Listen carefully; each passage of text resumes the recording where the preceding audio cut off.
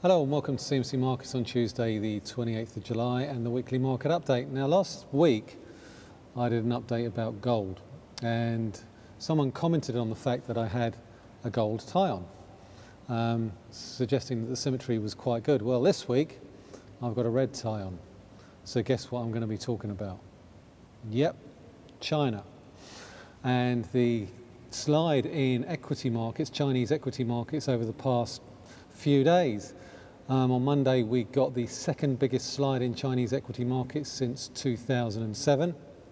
And in that context, I'm going to look at a, a product that I looked at at the beginning of July, the Hong Kong H China Shares Index. I'm also going to be looking at commodity prices in general over the past 12 months because we've had an awful lot of focus in the media on the decline in oil prices and the decline in the gold prices. But it's not just confined to those products. And I'm going to show you a chart which will show you a significant decline in commodity prices pretty much across the board. And that's going to be particularly important in the context of this week's FOMC meeting, which concludes at the end of Wednesday. Also going to have a quick look at euro dollar, some of the key chart points on that, and look at a potential reversal in the price of BP shares um, in, in the wake of their earnings announcement this morning and that massive second quarter loss that they posted due to um, write downs in respect of a settlement in the Deepwater Horizon um, oil spill.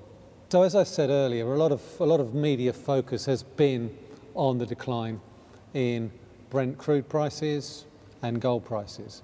Now, if we look at a chart over the last 12 months of commodity prices in general, we can see that gold prices are down 17%. That's actually not on the chart in front of you, um, simply because I did gold last week. And if you want to get my views on gold, feel free to look at last week's look at last week's video. But also, uh, Brent crude prices down over 50%. But um, while that is the biggest decline over the last 12 months. We can also measure it up with declines in natural gas prices, sugar prices. Sugar prices are at five-year lows.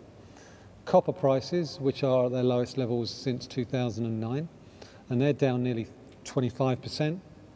We've also got significant double digit or double percentage declines in corn and wheat prices.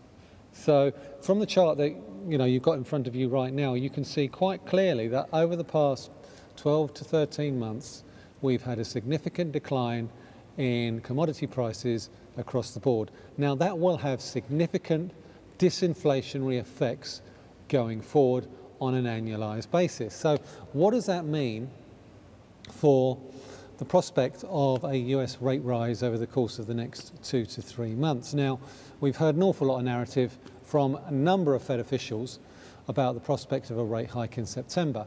And there's no question that a number of Fed officials really want to get on with it. They want to get on with raising rates as soon as is reasonably possible.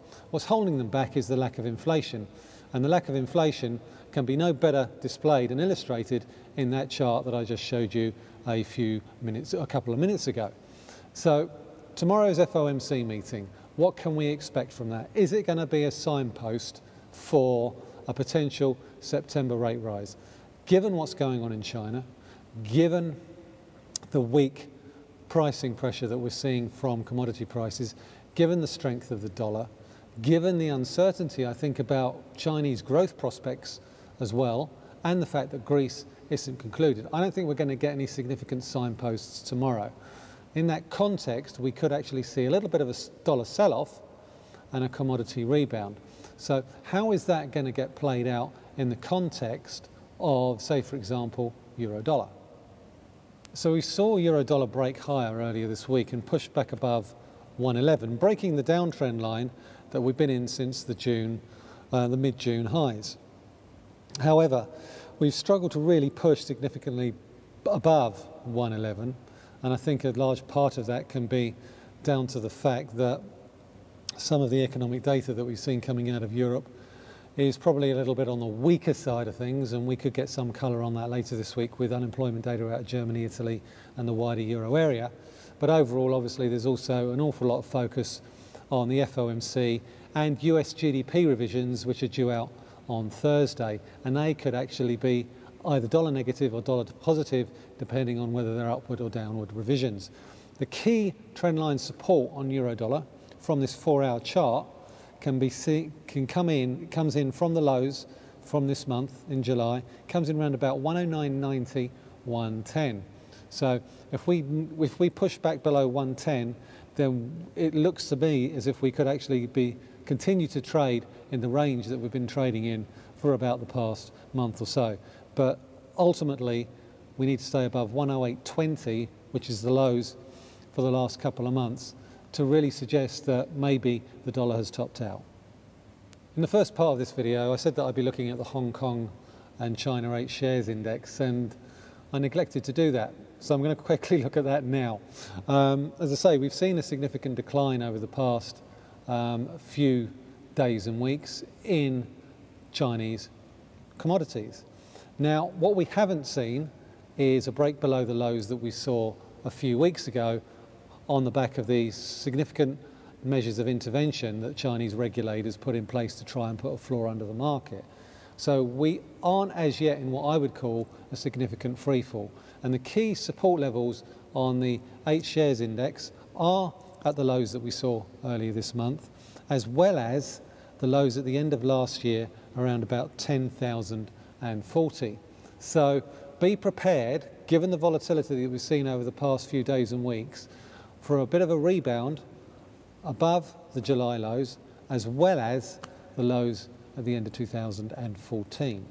Let's quickly finish up with a quick look at BP's sh shares because they've been in a significant downward trend since April this year. And a large part of that can be down to uncertainty about further litigation as a result of Deepwater Horizon, but also lower oil prices. But this morning, we've had a significant rebound off the lows. And it's important to note that we're also off the lows of this year, which currently come in around about 380 pence. Now, currently, the market has rebounded and we're potentially getting what I would call a key reversal day or bullish engulfing day. Now, depending on where we finish today, because this pattern is not yet complete, this particular rebound that we're seeing in BP shares today could be a precursor to a bit of a rebound. So it's worth keeping an eye on where those shares close at close of business today to get an indication of whether or not we get a rebound and whether or not it's worth putting a stop loss below the lows for this year. So that's pretty much it for another week. Um, if you have any questions on anything that I've covered in the past few minutes, then please feel free to tweet me at mhewson underscore CMC. Otherwise, I'll see you all again, same time, same place next week.